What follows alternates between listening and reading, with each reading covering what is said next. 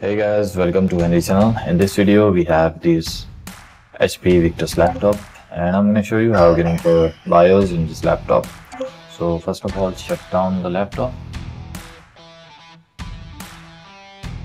And once it's turned off, you have to press the F10 key. Just press the power button to turn on the laptop and keep pressing the F10 key while your laptop is booting. So there you can see.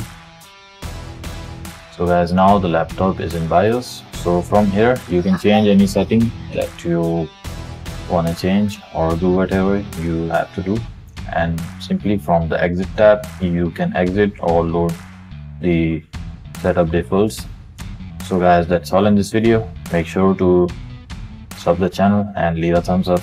Bye for now